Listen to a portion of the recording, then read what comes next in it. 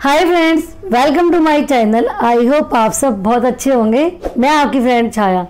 Friends आज मैं आपका बहुत सारे लोगों में जो भ्रम होता है, वो दूर करने वाली हूँ। लॉकडाउन ने हमें बहुत कुछ सिखाया। सारी दुकानें बंद हो गई पार्लर्स बंद हो गए, मिठाइयों की दुकान बंद हो गई। हमने घर में मिठाई बनाना भी सीखा, और भी चीज़ें बनाना सीखा, और एक बात सीखी, जब पार्लर बंद हो गए तो प्रॉब्लम आई वैक्सिंग कैसे करवाएँ? हम सबको हाइजीनिक रहने की आदत होती है। फिर मैंने लॉकडाउन में सीखा शेविंग करना। बहुत सारे लोगों को भ्रम होता है, यदि हम शेविंग से अपने बाल निकालेंगे अपनी बॉडी के तो बाल हार्ड आएँगे और भी प्रॉब्लम हो जाएँगी। पर ऐसा कुछ नहीं है। मैं इसे लगातार जब से लॉकडाउन हुआ है यूज़ कर रही हूँ। ये भ्रम मेरा भी था कि अगर मैं वैक्स नहीं करवाऊँगी शेविंग कर ली तो मेरे बाल भी हार्ड हो जाएँगे। पर ऐसा कुछ नहीं है। जितनी हमारी ग्रोथ होती है, उतनी ही ग्रोथ आती है।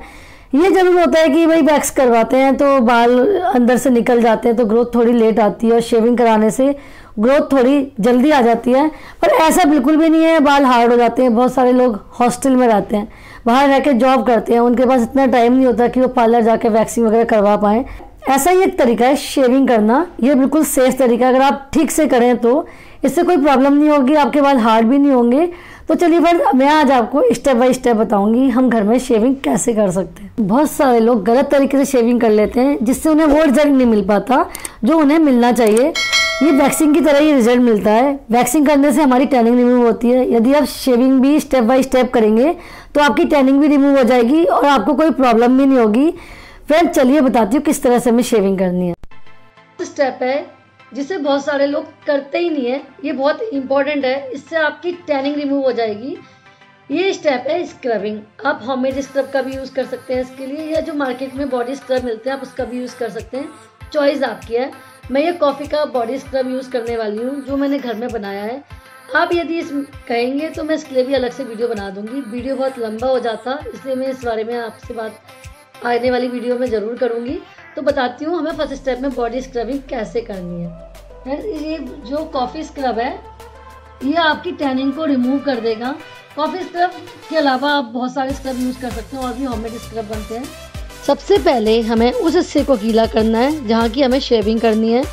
उसके बाद स्क्रब लगा के एक्सफोलिएट करेंगे अपनी स्किन को। जिससे क्या होगा डेड स्किन सेल्स निकल जाएँगे पोर्स ओपन हो जाएँगे और जो इन इनग्रोन हेयर्स की प्रॉब्लम रह जाती है, वो भी नहीं होगी और हमारी शेविंग अच्छी तरह से होगी। ये हमारी टैनिंग भी रिमूव करेगा।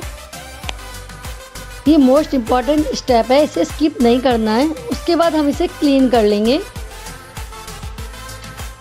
फ्रेंड्स अब हम नेक्स्ट स्टेप करेंगे शेविंग का, जिसके लिए मैं जिलेट विनस का रेजर यूज़ करती हूँ। ये दो तरह के आते हैं। एक ये वाला आता है, ये मेरा पुराना रखा हुआ था।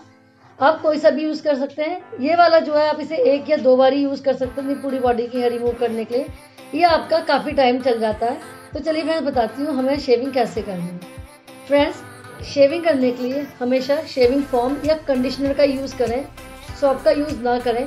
या आपके पास कोई ऑप्शन ही नहीं है तो बात अलग है। नहीं तो शेविंग फॉर्म और कंडीशनर का यूज़ करें हमेशा शेविंग करने के लिए। इस तरह से हमें शेविंग फॉर्म को लगा लेना है। अच्छी तरह से लगाना है। अच्छी तरह से लगा लीजिए, जहाँ भी आपको शेविंग करनी है, उसके बाद रेज़र को हल्का सा डिप करेंगे पानी में। उसके बाद हमें बालों के अपोजिट डायरेक्शन में रेज़र को चलाना है। आराम से कीजिए पेशेंस के साथ। एक से दो ग्लाइड के बाद पानी में डिप करना है रेज़र को। हल्के हल्के हाथों से कीजिए, नहीं तो कट लग सकता है। आराम से करनी है आपको। फ्रेंड्स जब टाइनी हेयर होते हैं तो हम वैक्सिंग नहीं करा सकते। हमें उसकी ग्रोथ होने का वेट करना पड़ता है। पर रेजर से ये प्रॉब्लम नहीं है। आपके कितने भी टाइनी हेयर हों, आप आराम से शेविंग कर सकते हैं। इमरजेंसी में। बिल्कुल आराम से कीजिए फ्रेंड्स। ध्यान रखिए, आपको कोई भी कट ना लगे। इस तरीके से धीरे धीरे अपने हेयर को रिमूव करना है। फ्रेंड्स, इस प्रोसेस के बारे में कोई भी डाउट हो आपके मन में, आप मुझसे आराम से पूछ सकते हैं। मैं अपने हाथ पर करके दिखा रही हूँ। आप किसी भी बॉडी पार्ट के हेयर रिमूव कर सकते हैं। शेविंग करने के बाद बॉडी लोशन लगाना ना भूलें। फ्रेंड्स आपकी प्रॉब्लम दूर होने वाली है। आप पार्लर नहीं जा पा रहे। आपके पास टाइम नहीं है। अर्जेंटली कहीं जाना है। आप वैक्स कैसे करें? आप आराम से शेविंग करके जा सकते हैं। ऐसी कोई प्रॉब्लम नहीं है कि आपके बाल हार्ड आएँगे। मैं अपने पर्सनल एक्सपीरियंस से बता रही हूँ। लॉकडाउन के बाद से ही मैं इसे यूज़ कर रही हूँ। पर आपको इसे ठीक तरीके से करना है। आप इसे ट्राई ज़रूर कीजिए। अपना एक्सपीरियंस मेरे साथ ज़रूर शेयर कीजिएगा। वीडियो पसंद आए तो लाइक कर दीजिए। मिलती हूँ मैं आपसे अपनी नेक्स्ट वीडियो में। तब तक के लिए बाय टेक केयर